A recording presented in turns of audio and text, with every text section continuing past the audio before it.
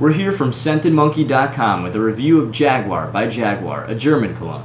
And this cologne is very manly. This is such a strong scent. You have the lavender, you definitely have that leather and basil in there. Yeah, you can't forget about the grapefruit though, which is a very interesting scent. Now, what I like about this is it's a manly scent and it's also long lasting, which I think the two might even go together. Oh, yeah. Now, six to ten hours of scent life is really going to do you well because this is a romantic cologne. Yes. Now, when you're going out for a dinner or a hot date, you're going to want this to last all night, and I definitely think this will. Oh, So, now that it's we know it's more romantic cologne, you would have to say that it's more formal. yeah, night, formal, romantic, all kind of are, we kind of bunch them up almost yeah, sometimes. definitely. Um, I'm I'm thinking, you know, a nice hot date. Honestly, Yeah, why not?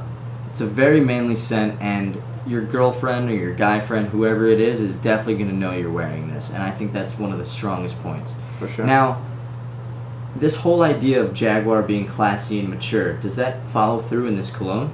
Oh, for sure. It's just like the car. It's for that mature older gentleman with a nice touch of class. Definitely. So if you're looking for that nighttime romantic classy scent that's still manly, try it out. Jaguar by Jaguar.